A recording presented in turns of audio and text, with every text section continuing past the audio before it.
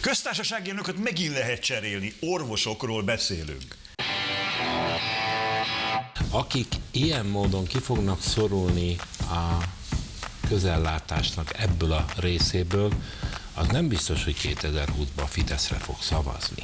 Persze Ildikó ebben az országban él, és pontosan tudja, hogy aki felemeli a kezét, azt is letarolják. Tehát azzal, hogy ő nem ment el tüntetni, azzal, hogy ő nem, ha rákerül a sor, akkor nem fognak vele se gatyázni. Azt mondtam, hogy még ez is előfordulhat. Nem itt.